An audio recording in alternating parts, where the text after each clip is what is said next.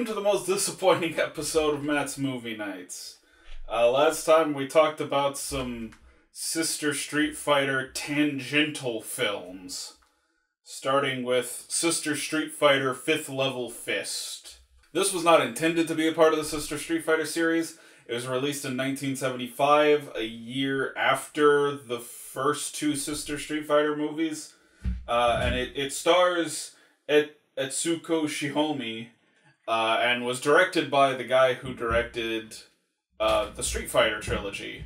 So when it came to America, they're just kind of like, eh, yeah, make it a Sister Street Fighter movie. Why not?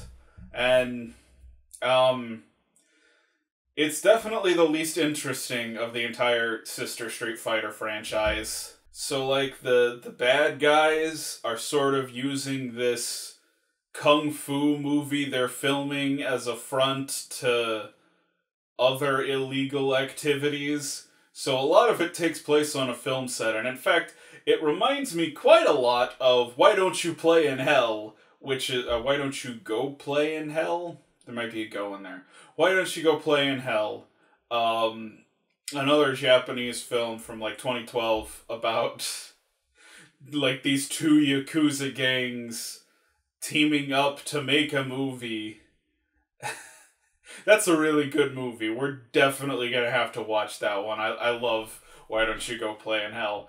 A uh, lot more interesting than Sister Street Fighter 5th Level Fist. Uh, just incredibly dull, not not near as inventive as the other Sister Street Fighter movies. You can kind of tell it's not supposed to be in the Sister Street Fighter series because it starts with her with her parents and they're like, "Oh, come on, you need to to, to get married. You're just a, a young single gal who needs to settle down." And uh, it's that's just clearly not in line with her character in previous Sister Street Fighter movies. She does have another sibling in this one. Uh, you know, we, we were talking about all of her fucking relatives in the other movies. If we're counting this as canon, which it isn't, but if we're counting this as canon, she's got another brother in this movie who uh, dies. He dies. They all die. All of her relatives. If if you are related to this girl, you're either Sonny Chiba or you're dead. Um, ironic considering what has happened to Sonny Chiba as of late. God damn. I um I, I told you this was going to be the most disappointing episode I've ever done because I have next to nothing to say about this movie. Um I have next to nothing to say about our last movie, which means most of this video is going to be dedicated to me talking about Lady Street Fighter, and even that I don't know how much I have to say about. I don't know, Sister Street Fighter 5th Level Fist, it's not bad. If you like the others, it's it's worth checking out. Like, because I, I gave a pretty blanket recommendation to this nice little Arrow video release. Uh, so, you know, if you've got the Arrow video release, you like the other ones, it's worth looking at, but it's it's not near as interesting as the other three. Uh, I I vastly prefer the first three Sister Street Fighter movies. Yeah, Sister Sister Street Fighter Fifth Level Fist. That's all I have to say. I have nothing else to say. Then we watched Lady Street Fighter, a, pretty blatant, like rip off cash in on the Street Fighter franchise. I mean, it came out in the 80s, so I don't know. Uh, to be fair, Street Fighter is a pretty loose term. You could argue this isn't infringing on the Street Fighter series, but you know, it's not the only movie that just sticks the word lady in front of an action movie title you know, I reviewed Lady Terminator, and I've intended to get around to the uh, Lady Rambo. There's a Japanese movie called Lady Rambo. I just, uh, I haven't gotten to that one yet. So in Lady Street Fighter, uh, Renee Harmon is the, the, she wrote the movie, and she stars in it as the titular Lady Street Fighter. Um, she uh, previously has appeared in Frozen Screams, the Video Nasty, and in fact, it's it's a meeting of the Video Nasty minds because the film was directed by James Bryan, who also directed Don't Go Into the Woods, which I am probably going to end up recommending for this show somewhere down the line because it's very silly.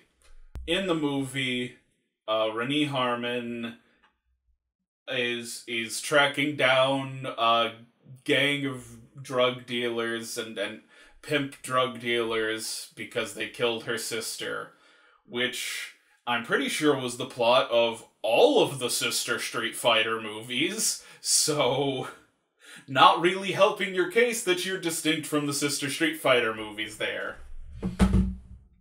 So yeah, she's uh she's infiltrating this criminal organization that killed her sister um and and getting revenge for her sister's death. It is not very good, but it is a whole hell of a lot of fun. It's it's a very silly movie.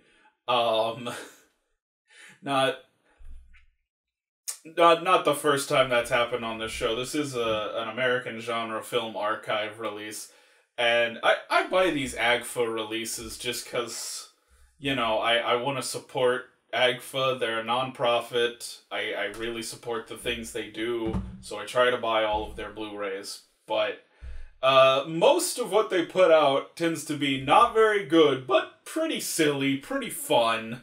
This is this is a lot of fun. This is a, a fun movie to sit through. Renee Harmon uh, barely speaks English. Um, and it's just, you know, it it's absolute exploitation. It's it's violence and nudity and drugs and and everything you want from an exploitation film. If this episode is like 15 minutes, is anyone even gonna notice?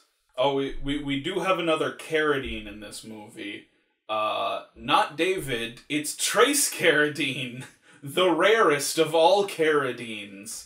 Um, we've, we've seen, what, two or three John Carradine movies at this point? At least two, I think three. Yes, three. He was in Vampire Hookers, he was in The Howling, and he was in, uh,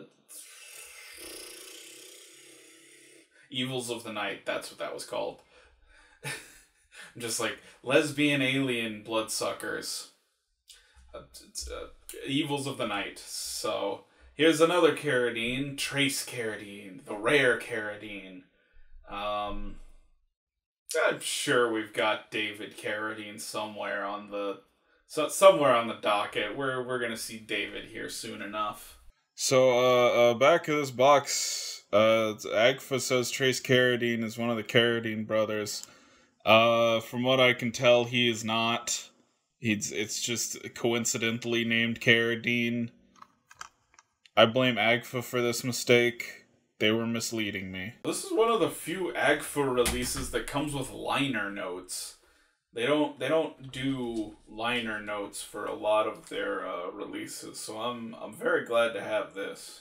Yeah, Lady Street Fighter. It's a fun time. I I kind of recommend it. Uh, at least just to like point and laugh at, if nothing else. I'm knocking these fuckers over. That's just I'm. That's a bad habit of mine. After that, I foolishly recommended Revenge of Lady Street Fighter, not really knowing what it was. I because it's it's the second feature on here. It has you know, bonus movie Revenge of Lady Street Fighter, the unreleased sequel to Lady Street Fighter. The word sequel there is very, very deceptive. This is not a sequel. Like during the movie, I was comparing it to Boogeyman 2 and uh, Silent Night, Deadly Night Part 2, but at least those have like some original content. It's like an excessive amount of the first film, but most of the movie is something new. Revenge of Lady Street Fighter is just Lady Street Fighter again. There's like five minutes of new footage. Some of you may recall I showed a film called Lucifer's Women, uh, which had a, a re edited version called Dr. Dracula. uh, which also featured John Carradine. Um, and I, I talked briefly about Dr. Dracula, the the re-edited version of Lucifer's Women.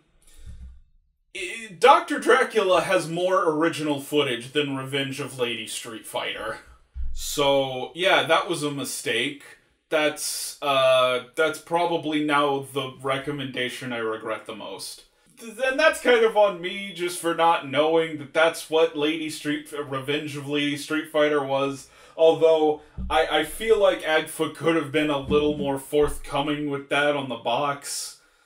Could have been like like an unreleased re-edit of Street Fighter of Lady Street Fighter, not a sequel because it's not a sequel. It's just a re-edited version of the first film. Uh, apparently, it was sort of like a, a Cool Cat Kid superhero situation. Although even Cool Cat Kid Superhero, I think, has more unique footage than Revenge of Lady Street Fighter.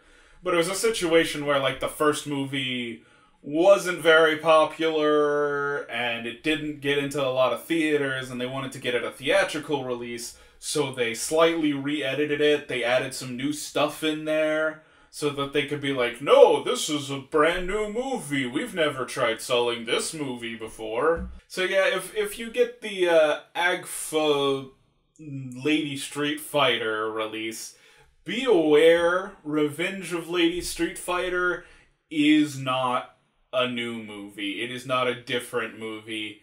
It is, in fact, a re edited version of the same movie. There's like five minutes tops of like a woman talking to police and and it's like oh well let me tell you what happened police it's like a framing device where she's talking to the police and that gives them a chance to flash back to the first movie and they just show the first movie in its entirety. So yeah, uh, Revenge of Lady Street Fighter, don't recommend it. you know, unless you haven't seen Lady Street Fighter, unless unless you get this and you're like, oh, I want to watch the slightly extended version where there's boring scenes at a police station, because otherwise it's the same fucking movie. Um, I guess that's all I have to say about Lady Street Fighter. Uh, this was uh, this was an unfortunate triple feature. Uh, I mean, Sister Street Fighter Fifth Level Fist and Lady Street Fighter both were fine. They were they both had enjoyable moments, but that really brought a, a that really brought the the night down. That was really man, I I wish that hadn't happened. And and it's not even like the first two movies were good enough to make up for it. So, yeah, um, sorry about that one. Not that anyone watches these. Uh, the only person who watched these with me was my friend Kim, and I'm like, well, Kim, I'm, I'm real sorry this movie just turned out to be the movie we just watched again. Ugh. I, I, I guess let's move on to questions. Uh, last time I asked uh, what your favorite ripoff movie was. Um, and I didn't really get that many answers for this one. Um, personally, I might say Mark of the Devil because Mark of the Devil is clearly trying to be like Witchfinder General or uh, the Conquering Worm if you're in Britain, but that almost seems unfair because after Mark of the Devil there were a bunch more movies that were just like that, and it's not that similar to uh, a Witchfinder General, but it's like it's it's very very similar, and it came out like a year afterwards, so it's kind of like. Okay, I think you were trying to ride the coattails of Witchfinder General just a little bit here. Although, personally, I like Mark of the Devil more. Other than that, if we, if we want something that is explicitly a ripoff, I think Mac and Me is hilarious. I think it's one of the few pieces of media I've seen that I'm like, this isn't a parody, but if it was a parody, it'd be a great parody. like it, it almost, almost reads as satire of E.T. Like it comes so close to being a satire of E.T. that it's a, like like if if there were just a little more going on, I would assume it's a parody. John August says uh, the Transformers movie, uh, Transformers the movie, the animated one from the 80s, not the Michael Bay film. I assume, I assume that's what he's talking about because he he mentions all the similarities it has to Star Wars. And um man, yeah, yeah, I mean Transformers the movie does take a lot from Star Wars. But at the same time, I think it is unique enough that like I wouldn't call it a rip-off. Maybe like blatantly influenced by Star Wars, but uh rip-off seems a little far. He says uh, some real what the fuck moments and uh yeah, I mean like the movie was like epic and it, it ruined the TV show. because they they killed Optimus Prime and the show was not good after that. In fact, the show was pretty adamant about bringing back Optimus Prime and even that could not save the show. I've I've to be fair, I have not seen that much of Transformers after the movie. I, I've seen like right after the movie, and I'm like, wow, the movie ruined this show. Like they they killed off all the good characters. Rob Jackson says he hasn't seen any blatant ripoffs. Which, uh. Thanks for the comment, I guess. I appreciate you interacting with the video. That helps my analytics. So, tonight, my question is if you were going to adapt a book into a movie, which book would you want to adapt? And as a bonus question, uh, if you wrote a book, which I'm sure some of you have, who would you want to direct the movie of your book? Because tonight, it's authors taking things into their own hands.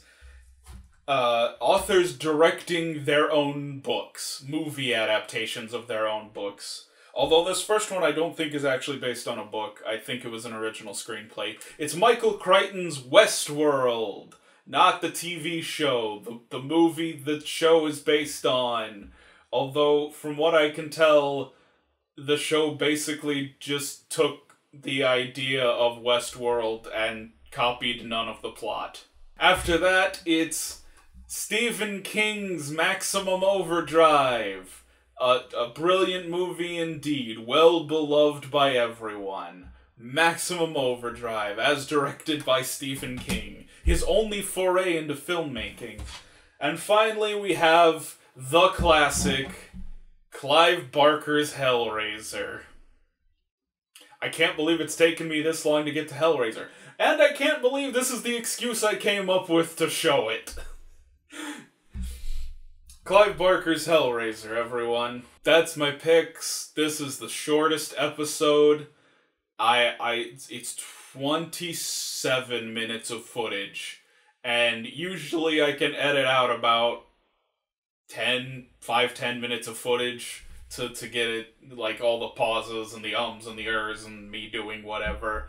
So this is probably looking at barely over 20 minutes. This is the shortest episode. But you know what? I'm fine with that. These movies don't deserve any more than that. We'll have a longer one next time. I have a lot to say about Hellraiser and Westworld at the very least. Until then, have a nice day.